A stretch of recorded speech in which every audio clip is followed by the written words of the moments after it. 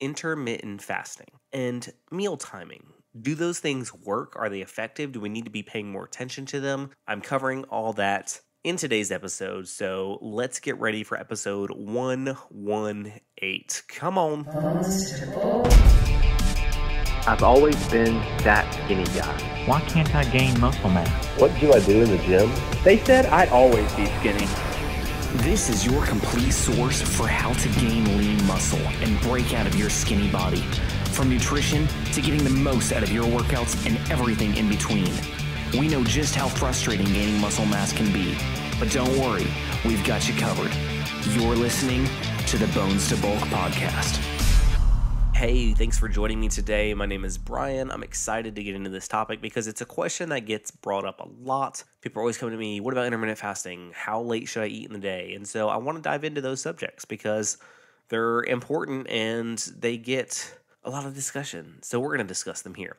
Before we dive into that, if you've not been over to our YouTube channel, you probably know what I'm going to say. Head on over youtube.com slash bones to bulk. It's a freaking awesome place to really build upon what we talk about here. I show a lot of things, I do a lot of examples, and so it's it's a great kind of tag along with the podcast. So youtube.com slash bones to bulk. Be sure to subscribe to the channel. I would definitely appreciate it. And leave a comment of what you would like to see future videos or podcasts on. All right, let's get into it. So First off, we're going to touch on intermittent fasting. And does it do some magical thing? Well, first off, intermittent fasting, if you're not familiar with it, basically what you do is you set a window for yourself to eat in this certain window. Usually the split is 16 and 8. So, in other words, you're allowed to eat for 8 hours of the day and then the other 16 you're in a fasting state. So, for example, you can eat from 8 a.m.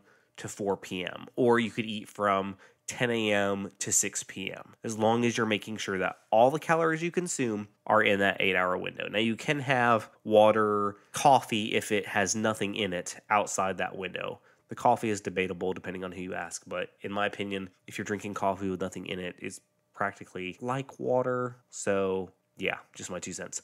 Um, so yeah, that's kind of what intermittent fasting is. Now, when you have your eating window really doesn't matter. The key with that is sticking it to your schedule. So in other words, if you like to eat most of your food in the afternoon, you probably want to do a later window. So maybe 11 to 7. Uh, if you really need that food in the morning, then switch it up, get your calories in early, do like 6 to 2. Do what works for you if you're trying to choose a window. That part really doesn't matter as long as the calories are within that 8 hour window. Now, there's not really a magic behind intermittent fasting. The magic comes in in that it is putting you on a strict schedule. You know that you can only eat calories from X time to X time. And so what that means is you're probably more than likely going to consume a lot less calories in a day. Because let's say you're eating from 10 to 6. You're not going to be snacking on donuts at 8 a.m. in the break room. Um, at nighttime, when you're, you know, settling down, watching some Netflix or whatever, you're not going to be munching on your favorite snack or anything because you're outside of that window.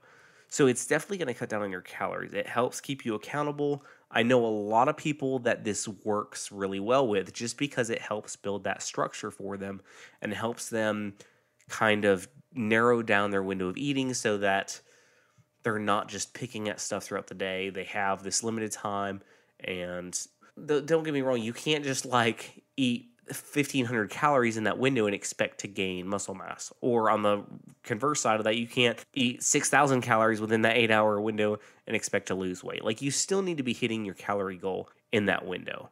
But it helps you to hit that calorie goal. It helps you maintain that better. Now, personally for weight gain, to me, it's harder to get obviously more calories in an 8 hour window. It just is. Like I do know some people who do it successfully. And again, just because it helps them get in that mindset of a strict schedule. But for me personally, I have to eat so many calories in a day that I would be just eating nonstop for that eight hours. So that would suck for me. I like eating throughout the day and I'm going to stick with that. But I'm not saying that intermittent fasting doesn't have a place because again, I know a lot of people that it works really, really well for. So if you are interested in it, give it a shot. Like try it out for a week or two. See what you think. See if it works for you. You know, if it doesn't, no harm, no foul. Like you've got to try things, and at least you've got to try things that are good to try. Like I don't recommend trying something that's unhealthy or that I don't believe in, but with intermittent fasting, I think it's a, a good thing. So give it a try. All right, so now let's kind of move into more meal timing because it kind of falls hand in hand with that. You know, we're with intermittent fasting, we're talking about eating within a certain time frame window. And with meal timing, it's more of what time of day should you eat your meals? Like, should you be eating right when you wake up? Should you be eating, you know, how late should you eat in the evening? And there's been all this stuff for so long. And a big, huge misconception is that eating before right before bed is like just terrible. And I think eating right before bed can affect your sleep, but as far as it means you're automatically going to put on fat during the night, it doesn't work that way. Like let's say you don't eat anything all day.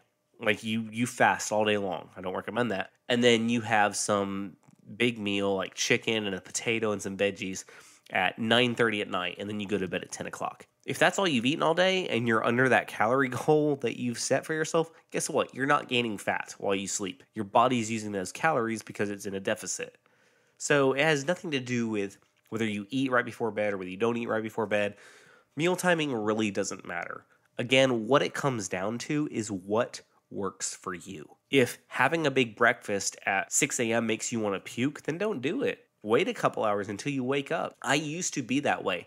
I used to have the hardest time eating right when I woke up. So I worked around that. I didn't eat when I woke up. I would wake up, I would go to the gym, I'd work out, I'd have a post shake, which was pretty much just like some whey protein and dextrose powder, and, and then I'd wait even longer, and then I'd finally eat breakfast. But I'd been up for several hours, and that was just what worked for me at the time. Now I don't know what switched, but like I like eating when I wake up. I'm usually hungry, and that's probably because back in the day, I was eating so much food because I didn't really understand the density of food and how I could still get in all my calories but not eat as much because I was eating more calorie dense foods and so I didn't have to eat as often and so I was stuffed all the time and so waking up in the morning I didn't feel like eating. So that's probably a big part of it. Um, it could be just getting, you know, a few years older that my body changed. I don't know. Regardless, now I eat right when I wake up. The key is find what works for you. I say this all the time. Like, there's no, there are some very clear, like, do this, don't do this steps that you need to build for your foundation. But when it comes to stuff like this, find what works for you. We're not all the same. We don't all run on the same biological clock. We don't all get up at the same time, go to bed at the same time, have the same schedule. So, of course, our bodies are going to crave and want things at different times. And there's nothing wrong with that. Like, don't fight yourself. There's no point in making this harder than it needs to be. If eating breakfast at 11 a.m. and eating lunch at 3 in the afternoon and then dinner at 8 o'clock works for you, like if that's just feels right for you, then do it. There's nothing wrong with that. Nothing. Again, find what works for you. Do that regardless of whether somebody's saying, "No, you've got to eat at 8, 12 and 6 on the nose and don't eat anything in between and don't eat like that's nonsense. It doesn't matter. Doesn't matter. So I hope this helps clear the air in regards to intermittent fasting and meal timing and hopefully dispels the myth once and for all that just because you eat a meal right before bed does not mean you're going to gain fat. Do I recommend eating a big meal right before bed? Not really, because I like I've done that a couple times, just weird traveling or whatever, and I usually just feel bloated getting in bed and I have more trouble sleeping. So I don't recommend it, but you're not gonna like wake up 10 pounds heavier because you ate a meal later at night. It's just it doesn't work that way. All right. If you are on social media, check us out. We are at Bones to Bulk. We are on Instagram and Facebook and TikTok and YouTube, which I already mentioned. So be sure to check us out on one of those platforms. We have an amazing group over on Facebook. Head on over there, search Bones to Bulk, join the group, get plugged into an awesome community. All right, have an amazing day. And remember that regardless of what things are staring you down, you can get around them, you can get over them the rain does not last forever. It will stop, things will start to look up, and you will start owning every day. And some days they may suck, but for the most part, you're gonna own life. You can accomplish, stick with things, you can accomplish your goals. You've got this.